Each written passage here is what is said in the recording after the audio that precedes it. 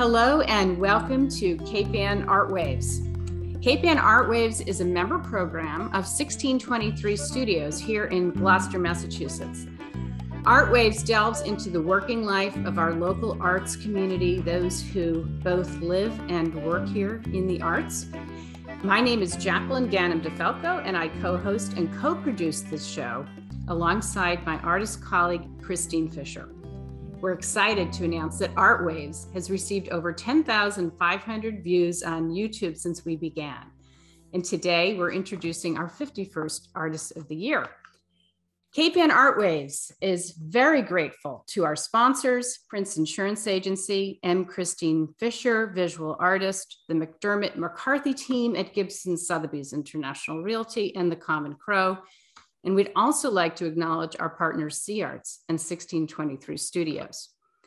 Without the collective effort of our sponsors and all involved, the show would not go on. And as we look to 2022, of course, we are talking to potential sponsors for 2022. So please think about helping us to take the show to 2022. We'd also like to recognize today Steve, uh, Steve Lacey and Pat Verga, who have provided music. Now, I'd like to introduce today's artist, Leon Doucette. Leon, say hello to everybody. Hi, everybody. Here we Glad go. to be here. So Leon is a is a really a lovely and special person who I've enjoyed getting to know through his work actually at the Cape Ann Museum. But this is my first opportunity to really speak with Leon as an artist. Uh, so let me tell you a little bit about Leon and his background. So he's a painter and curator, and he was born in 1989 here in Gloucester, Mass. So I consider him among our younger artists here in the community. He earned his BFA from the New Hampshire Institute of Art in Manchester, New Hampshire, which has recently been absorbed into um, another uh, school. So um, it's changed, it had changed a name along the way. He graduated with highest honors his artwork since then has received both international and regional awards. Um, it's been prim primarily shown around New England, as well as New York, California, and Washington, D.C. His recent awards include the gold medal at the Guild of Boston Artists 2018 Regional Juried Exhibition and first place drawing at the Portrait Society of America's 20th Annual International Portrait Competition his work has also been selected as a finalist for the 13th International Art Renewal Center Salon Competition. Since 2011, Leon has also served on the curatorial staff of the Cape Ann Museum in Gloucester. And I can't just say also because this is really primarily where Leon is spending his time. Um, and I remember when he started 10 years ago. Um, he has uh, also worked on a number of fabulous exhibits there at the museum, uh, including Marsden Hartley's Soliloquy in Dogtown, John Sloan's Gloucester Days, um, and Drawn from Nature and on Stone, and the lithographs of Fitz Henry Lane in 2017. And it's not insignificant that Leon um, has worked um, and grown through his work at the museum in his own art. And we're going to learn more about that. Owing to his experience as a curator and constant dialogue with the artists of the past, Leon works in a traditional style, employing various academic techniques to create timeless, subtle images. He's interested in the physicality of subjects and works primarily with the figure and still life. And I think you're going to be just overwhelmed by some of the beautiful work that we're going to show today. So, so Leon, welcome to the show. And um, I think you've been extremely humble, honestly, about your work as an artist and all the discussions that I've had with you. Um, and I have just been blown away by what I've seen on your website and what you've shown me prior to doing the interview today. So, congratulations on continuing your creative journey that you started um, obviously long before college. So, let's talk about that. Tell me, sure. tell me about what happened sort of before um, the you decided to study art in college. Yeah, yeah, uh, I'd be happy to. And and let me just say thanks, thanks once again for the. Uh, I'm I'm humbled by that intro and and also to be here. I'm so so excited to to talk with you and and uh, with all the viewers as well. So, yeah, um, uh, as you mentioned, I I was born in Gloucester. I grew up sort of in the Lanesville area and uh, went to Gloucester High and um, the house that I'd grown up in was sort of like the walls of the house were plastered with my grandfather's paintings. He had passed away a few years before I was born, but he was a, a student of Emile Gruppe in like around like 1961, 1962. He got into painting and painted for the last like 20 years of his life.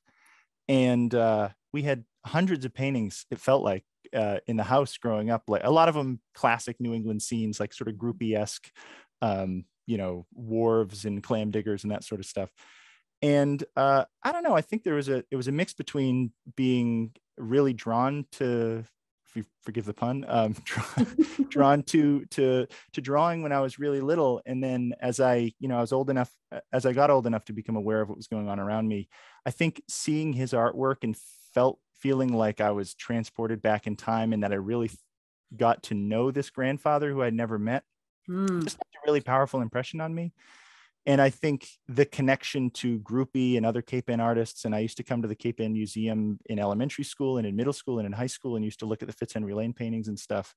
Uh, I just it felt like a foregone conclusion really early on, like in third or fourth grade. I would have teachers who would be like, "You should be an artist when you grow up," and uh, and that's what I wanted to do. So I I kind of kept it going. Oh, that's great. And I think you wanted to share with us um, one of the pieces that you did. I'd love to see how people started out. So why don't you talk yeah. about the very first piece? Sure. So, uh, so this first, uh, this piece here is a, um, you know, it's, it's, it's nothing particular, but it was something, I don't know, I probably did when I was a sophomore, junior in high school. Uh, and I was really interested in, in pen and ink at that time. I, I think I was, you know, it was at a period where I'm looking at my grandfather's seascapes and I'm looking at Fitz Henry Lane paintings and I'm like, geez, I don't know how to, I don't really, no one was teaching me how to paint and draw what I could see. So I was uh, often working from imagination a lot and was, and was looking at uh, uh, etchings and book illustrations and things. And I was kind of just working with pen and working with black and white because it sort of felt, I don't know, like it was something that I could control a little bit more. And, and I think that even though I have, um, you know, this this figure is a little a little spooky, a little maybe maybe nice for Halloween. Um, I think that my interest in form and in uh, uh, uh, black and white puzzle piece shapes kind of fitting together is already sort of evident even at this early stage. Um, thinking about texture and and I think it's in some ways the sort of blank background of this piece is is something that uh, that I've continued to to sort of you know I I sometimes wonder if I should uh, do a little bit more with the backgrounds in my work, but I'm so interested in the focal point, whatever the subject is, whether it's a collection of objects or a portrait or something. Mm-hmm. Um, so anyway, I I thought I I would uh, I would share a piece from high school to see where I jumped off from. Yeah, exactly. And you did mention obviously a lot of people who influenced you in terms of art, the greats of, of Cape Ann. Um, but I'm very curious, specifically in college, was there something in college that do you think was sort of a turning point for you or that you went there to learn? Yeah. Yeah, so my first so my first year at school, I was actually in the illustration department, and it was because I had a portfolio that was full of this this kind of stuff. And um, you know, I, I think that first year I wasn't quite sure what I wanted to do with my, you know, on my art journey. Uh, I was I was very aware of wanting to to gain the tools to sort of paint and draw from life, uh, but I wasn't. I didn't quite have a, you know, I hadn't found my voice yet. I wasn't even sure what I was gravitating toward. I liked everything, and it took. Uh, I, I had a teacher named Jonathan Simon who was a he was sort of he was teaching illustration and painting classes at the time. And he was a student of this other artist jacob collins who is still alive and working today who does who sort of uh, does these beautiful classical realist paintings.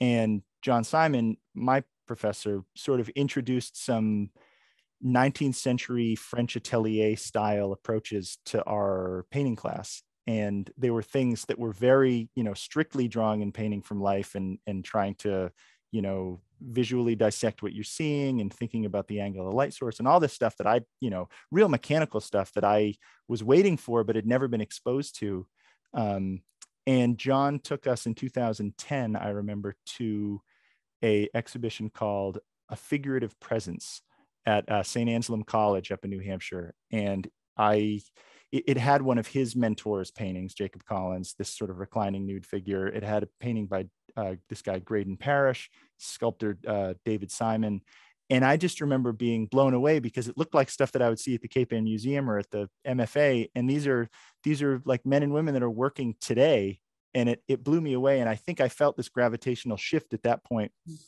in my you know what I wanted to do with my artwork. And uh, the first painting that I had sort of done that had uh, incorporated some of those principles and some of those processes is actually uh, this other painting that I uh, have here that is a, um, a painting of my father sitting at a table with a decanter of whiskey mm. um, that I, I painted. I think I painted this in 2010. I was probably mm. 19. And even though this painting and the, um, the pen and ink drawing that, that, that we were just looking at are only maybe three years apart, if that, uh, a big evolution for you. Yeah, yeah, yeah. And, I, and and so I sort of think of that pen drawing as sort of the the the end of the childhood doodling I was doing yeah. um, through most of my childhood, just you know, in a sketchbook. And this mm-hmm. this painting of my father being sort of the first of my like real painting voice that I've sort of been carrying this trajectory from ever since. And I think your father um, obviously had a lot of influence on you and he's going to keep popping up here yeah. during this interview. So we're yeah. going to give him a lot of credit uh, yeah. starting with the grandfather's I'm, dna now we have your dad. No that's actually that was my mom's my my mom's father was oh the, uh, okay yeah yeah right. and my mom's been a I, I shouldn't shouldn't count her out. She's been a, an amazing influence as well. I'd, I'd be remiss if i didn't give her a shout out yeah, absolutely. Let's talk about the styles you've chosen to go down. You've chosen to go down two directions um, still lifes and portraits. Um, and I'd like to now bring up a couple of those. Let's start with the still lifes um, and have you just uh, talk about this one in particular. It has um, a little, I think that's a skeleton. Um, oh, yeah, it's a. Uh, I think it's a coyote skull. Oh, coyote um, skull. Yeah, okay, there you yeah. go. So where yeah, did it come from? Did you actually have a coyote skull sitting around? I, I do. I can actually it's on my mantle. I can actually see wow. it right now. It's okay. Been a, it's been a it's been a nice uh it's a little macabre, but it's been a nice uh, still life piece. Yeah, I don't know. It's it's sort of um that little memento mori thing. I don't know, a reminder of your mortality or something. But no, I, I think um still life and portraiture, I mean, fundamentally for me, are really about I, I, feel like I often use the word sculptural. Like uh, the the they are physical masses that are made up of planes and have volume. And I mean, uh, my work is so much about having you know painting light as it sort of comes across those forms and I think that's one of the reasons why I've been drawn to these uh, to these sorts of subjects more so than than landscape. And um, I know we'll, we'll talk about landscape a little bit later, but um, it, landscape was never something that I was naturally drawn to. I think uh, because it's and maybe there's too much information or something. The light is changing, and and and you have to and there's these big wide vistas. And so for a for a still life like this. Um, painting is really meditative to me. Uh, uh it's it's sort of a you get into that flow state you hear people talk about you know if things are going well. And uh, you know deep concentration deep looking i mean i i have i guess i have to remind myself every now and again that it's not i don't know uh, maybe it's not typical for for most people to like stare at an apple for like 13 hours you know as they're just sitting in the quiet in the room and for me it's it's like breathing it's it's been a it's just like a, a regular part of my life and um and this piece silent vessel i remember doing uh a couple years ago uh by window light just in the mornings. You can sort of see the reflection of my window there mm-hmm. uh in the in the uh the vase and I don't know, it's just sort of a just a love letter to morning light coming in kind of across this blue fabric and and the way that the texture of that bone one of the reasons that i that i really love painting that skull as well is that it has this great subsurface scattering effect where when light hits it it sort of penetrates through it a little bit and the rim of the shadows have these really warm details that uh, that come across it. You can sort of see in, in, a little bit of the brow ridge on the on the left side of the brow ridge there. So, well, that's quite that's quite a piece. And then the other genre, of course, is your portraiture, which is quite exquisite and obviously requires the the same type of focus. So let's let's um, switch it up to um, the study and the actual end piece that you yeah. of Melissa. Yeah, so this is uh, this is Melissa Cooper. Uh, she is my she's been my partner for many years, and uh, she is a fabulous artist as well. Um, and if I, I, encourage people to to check out her work as well. Um, so this uh, little drawing here was a a study that I had done of her face and you know if you uh, thinking about what we were just talked about in that still life i mean a lot of the same principles apply i mean just light coming across forms the sort of the landscape of the face which is a term that i remember one of my teachers using once upon a time. Uh, thinking about light and shadow and, and playing with focal points and again like like trying to find interlocking dark and light shapes that feel that make like a pleasing pattern. Yeah. and and this uh, this study really uh, focused on the face. And then you can see here um, if we look at the at the finished painting uh, quite a bit is different. I mean she's wearing different outfits. She has her hair down rather than up.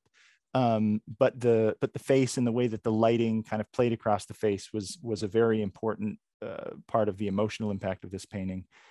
And i think that um, i should say too that portraits for me like there is a uh, like a resonance from one human being as a viewer when you're looking at a at a handmade image of another human being. Uh, I don't know that just that that hits something on the subconscious, and um, I I understand that there's a little bit of a difficulty for some people appreciating a painting of a person that they don't know or a painting of a person you know who's unidentified. But that's never been me. I, I just I love paintings of people of mm-hmm. you know uh, no matter who they are it just it's it's like a dialogue between the artist and the person depicted and uh i've just it's always really excited me it's also a very traditional way of approaching art right? I mean we all yeah. know great portrait artists that we've come across in our life. So on that note though this was a painting we specifically wanted to use this as a discussion about your process like mm-hmm. the starting point and then you know do you sort of draw? Do you walk away from things for a while? Like just just sort of highlight the the way that you generally go about this process. Yeah so um so this painting uh, was one of the first times that i employed a process that i'd uh, that i'd heard a lot about in history books uh, or art history books. Um, a process referred to sometimes as the flemish technique. Uh, it's but it was used a lot in france and other places. And uh, essentially it is a process of building up your values, which is to say your sort of like a grayscale, black and white from from white to black, building up those um, those tones fully realized uh, simply in black and white, mm-hmm. and then subsequently going over them with successive layers of glazes. Again, it was something that I had that I had read about, you know, master painters using hundreds of years ago. Uh, and in the back of my head even when i was in even when i was in college was thinking like oh that would be fun to experiment with but i never it seems like every time i sat down to do a painting for a long time i would just you know i'd try to get as close as i could to the flesh tone of the forehead and um, yeah. so i finally tried to uh tried it out with this painting and and uh it's I, we have a couple examples of another grisaille. I mean, it's a process that I use use a lot now. Um, yes, I'd like to show the other one that you specifically talked about, um, and I believe this takes us back to your father again. Is that correct? Yeah. So yes. Yep, so he's uh he's just he has a very I don't know very graphic face. I'm not sure. My, my dad just has this. He's got this white beard and these and these angly cheekbones, and it's just just fun to fun to draw. Just you know shapes.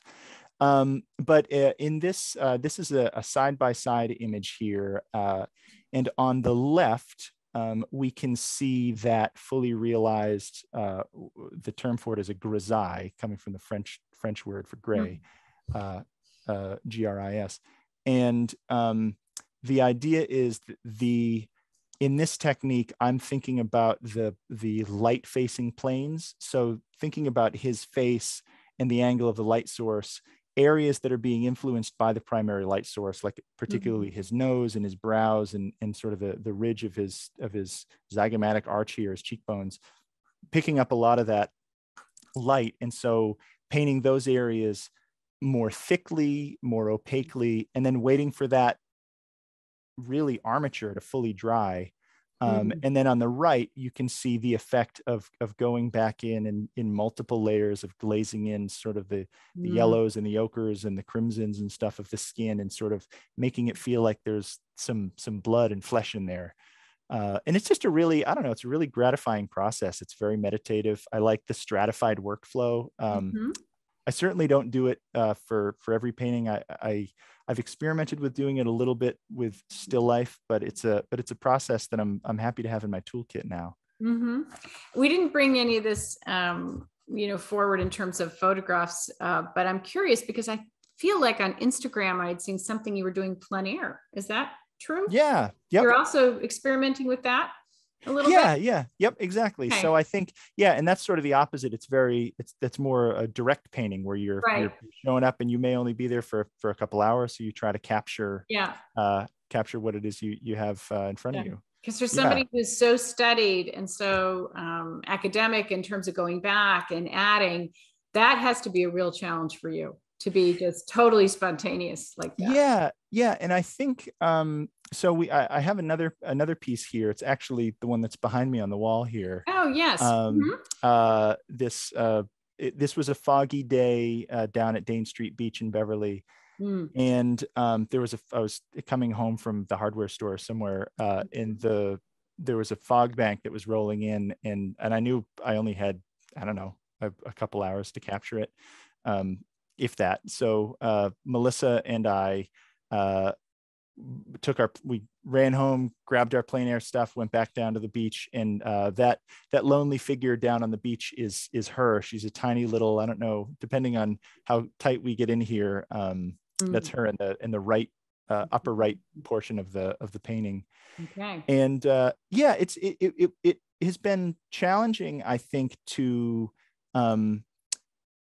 to not only work uh directly and intensely and quickly like that but i think to overcome some of the some of the hurdles that for a long time i i considered myself a studio painter and not a plein air painter Mhm. and i've i've i've only recently in the last year started thinking about how damaging it can be to your own sort of you know artistic journey to to Mm. box yourself in that kind of way yeah. you know uh, because even though the light was changing and that's distracting and, and you have to simplify the trees and that that feels like that's distracting for me the single biggest distraction for a long time when trying to plein air paint was this like nagging feeling that like ooh I, this isn't really me i shouldn't be out here i should really be in the studio that's more my thing Mhm. and that like where does that come from that was just some arbitrary thing that i guess i decided subconsciously years ago Yeah. Well, you're growing. You're growing as an Yeah. artist, right? Those are growing pains.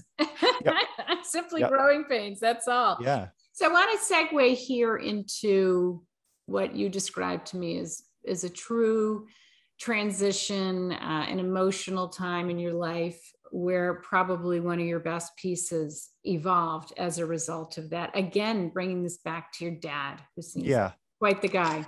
yeah. So uh he yeah he is he is he is great. Um so yeah i i, I hope you won't mind me me mentioning that a, a few years ago uh, he had had a stroke. And um it was you know i, I count myself very lucky that i've had a i've had a, a very close knit family and we've had we've had a lot of good luck with health and we're um, I have two older brothers, uh, and they have they have children, and and we've always been tight knit, and we've been very lucky when it comes comes to to family trauma. And so this was kind of a new experience uh, that my dad was going through this you know this challenging time where we weren't sure if we were going to lose him and and uh, or what.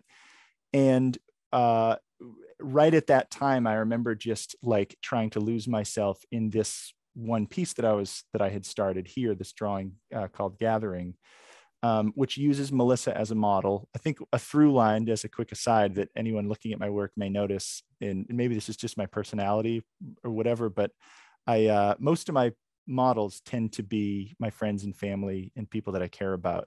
um, I do I do paint commissions and I love doing them. But my in my personal work, I usually just use the people that I love.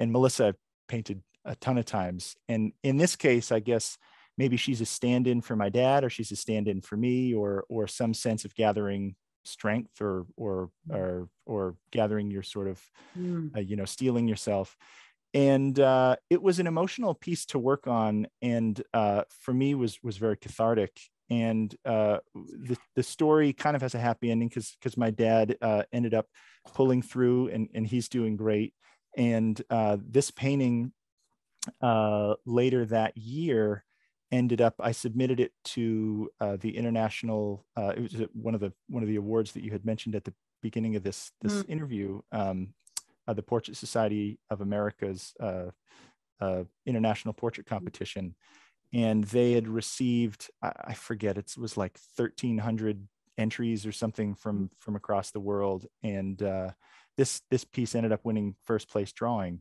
And uh, so I got to go down to DC. It hung in a show down there uh, with with some of the other people that were invited to the show, and I got to meet a lot of artists who I really admired mm. and uh, to get that sort of international recognition uh, it was that's so for me it was sort of this turning point too in in the first sort of recognition that i'd gotten on a large scale like that and and was talking to these other artists whose work i admired who were telling me how much they're admiring this and we're talking about what's going on in the piece and uh, so it's something that's very near and dear to me i still have it hanging on my mantle and uh, and uh, maybe someday it'll wind up at the Cape Ann Museum. We'll see. Wouldn't that be special? That would not that be special. So I'm yeah. gonna I'm gonna ch- transition to a different uh, way of thinking about things. You know, yep. being so involved in the arts community, finding uh, and I'll say young artists, you know, out of college and at the stage that you're at is is, is very. It's a it's a special thing here, right? Because a lot of young people haven't been able to come back to Gloucester for you know one reason or another, or Cape Ann. Yeah so, um, you know, to, for those who are out there trying to make their way, we, we try to bring out anything we can that will help bring that community closer together. So I'm kind of curious um, how you've interacted with other young artists, whether they're, especially because of the pandemic, I think there's probably more things online that have happened. Any anything you want to throw out there to share with the community of your peers? Yeah, I, I think that um, the I, I, think especially because of the pandemic, uh, artists have gotten really creative um, in where they find community and how they collaborate. And um, and I, I, would encourage anyone who feels like isolated or like they're working in a vacuum to, just to sort of like look around and see what exists out there.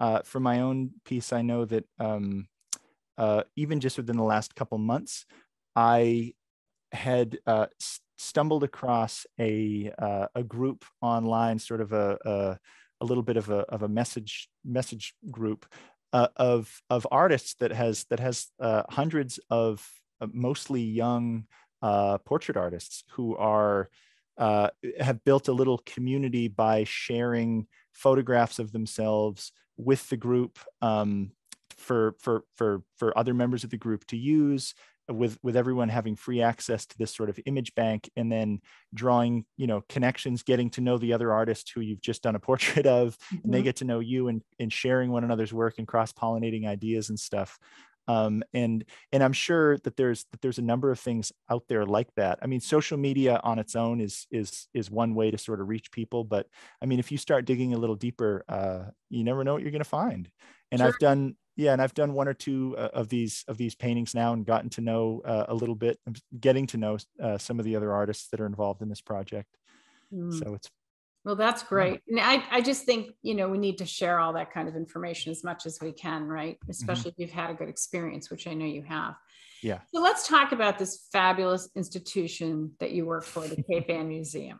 Um, so you you've had an incredible opportunity to grow as a curator with the as the museum is on this is this trajectory of growth um, and just making such an impact you know on the community. And you've been right there with it. And so and it's obviously a wonderful marriage for you your love of history your your love of art and your i mean this is this is like a kid in a candy store right? It, really yeah i mean it, it, it really is. So given that i'm kind of curious you know when do you find your because that's a busy job and it's a fabulous yeah. job and and from everything you told me you love it passionately when do you when are you able to kind of go inside yourself and focus on your artwork? Like how do you separate that out and, and when do you when do you do that? Yeah i mean uh, in in some ways it's sort of as simple as like like what roof i'm under at, at any given mm-hmm. moment. If i'm under my roof it's i'm, I'm working on artwork and if i'm at the museums i'm working at the uh, uh, uh I'm, I'm in the other headspace. But no it's it's uh i think that if only it were really that simple uh the museum really is a fantastic place and i i, I feel like it is it to me represents like it it really symbolizes what Cape Ann art and history is all about. And I think so And you know, going back to my own journey of like, like what I was doing with my grandfather's artwork when I was a little kid and being inspired by it, like that had such a profound impact on me. But not everybody has a house full of like their grandfather's bygone, you know, visions of a bygone era with, uh, you know, stone wharves and clam diggers and everything. So it, really trying to do my part to help facilitate that sense of inspiration for for other artists for other people um, I, i'm just i mean clearly i'm i'm so interested in history and i, I think that there is definitely some cross pollination that happens. Uh, I, I like to think that my passion for this place i mean it's more than a job for me. I, I feel like there's sort of these these dual roles even though they're both kind of different like my wearing my painter hat versus wearing my curator hat are all sort of serving to to elevate this mm-hmm. place in in our story kind of you know because yeah. as much as as much as i can do as a as an artist like mm-hmm. I, I, am i come from here I, I feel very connected to this narrative and um yeah i mean that that that comes to the fore when i when i think of my relationship with the museum for sure well i think um i know that you're going to um, keep growing in both of those roles. There's no doubt about it. So, as you separate out your role as an artist, I'd like to find out, you know, kind of what are your maybe near term and slightly longer term goals um, for your work? You know, is it just the refinement of the work itself? Is it to sell and get some commissions or be in a particular show? You know, I'm just kind of curious how you're how you're thinking about that piece of it. Yeah, yeah. Well, so I think I mean, I, I would love to continue to refine my work. Um, I mean, ultimately, I I want my work to continue to feel satisfying for me, and and uh, at, at in my current trajectory, I I think that's I hope that that's the case. I'm I'm as satisfied or more with you know explore. I'm just I'm constantly exploring new questions, um, and yeah, uh, I mean, I think that there's there's inherently a challenge with balancing a 40 plus hour a week job um, at the museum with uh, whatever time I have left over once you subtract out, you know, mm-hmm. groceries and social engagements and everything else. Uh, and so what I do with that time, I I hope to be uh, I hope to be able to produce more. And you know, it would be great to be great great to um, to sell and, and to uh, pick up more commissions, just knowing that it, it can help support more work. And, uh, and it also tells me that people are, people are moved enough to want, you know, part of my story to be, um, have a piece of my story in their lives. I think, it, you know, that's, yeah. that's very moving. Um, well, now this is your chance, right? Because you can tell us what's new, what's coming up that we should yeah. be looking out for, um, and also how we reach you right? And yeah. how, how how we get in touch with you for our our portrait commission or uh, a show or anything else. Yeah. So please, uh, yeah, please do do be in touch. Um, uh, I I have a website leondoucette.com. Uh, there's a contact form through there. Uh, you can also reach me. Uh, I'm I'm fairly active on uh, Instagram at uh, Leon Doucette Fine Art at Leon Doucette Fine Art. Mm-hmm. Um, and so that has uh, that has some uh, more up to date uh, musings about what I'm working on and and and a lot of process shots and things like that. Feel free to send me a message through there. And uh, and I should say too that um, uh, something that I, I hope by the time this interview airs, I will have live on my website. And if it's not, it will be it will be live in short order. Is a um, uh, some information about about commissioning a portrait. I I, I understand that it's it's tricky um, and challenging to uh, if, if people don't really know what to expect in that in the process of commissioning a portrait or, or having a portrait commissioned is uh, to, to demystify some of that and, and have a little bit more clarity and transparency, I think uh, I'm, I'm going to have a section of my website dedicated to that. So uh, that will be yet another way you can be in touch. Yeah, that'll be great. I think that's really needed because this is it's very daunting, I would say. Yeah. If you were thinking of having a portrait done for somebody you love, or, you know, I mean, I don't know how many people want to do it of themselves, but yeah. you know, whatever, whatever way you're looking at it, there's a lot of choices and there's a lot to understand about the process. Certainly. So that's yeah. great. And I think yeah and i think it makes it easier for for people that are interested in it and it, and it also makes it easier uh, for for the artists like me to to know that people have a baseline understanding going into it so that's um, great. if anyone's interested keep an eye out. We're we're wrapping up today with leon doucette wonderful uh, artist here in cape ann and a member of the distinguished cape ann museum team. So I want to thank our audience, and you can find us um, on Cape Ann Artwaves playlist on 1623studios.org. Um, also, this is uh, appears on Facebook, on Twitter, and on Channel 12 uh, on your local Comcast uh, station here in Cape Ann. And until then, we want to remind everybody to acknowledge our fabulous sponsors when you see them. Um, and uh, thank you until next time. You'll see Christine Fisher a couple weeks down the road with the next episode of Cape Ann Art Waves. Thank you again.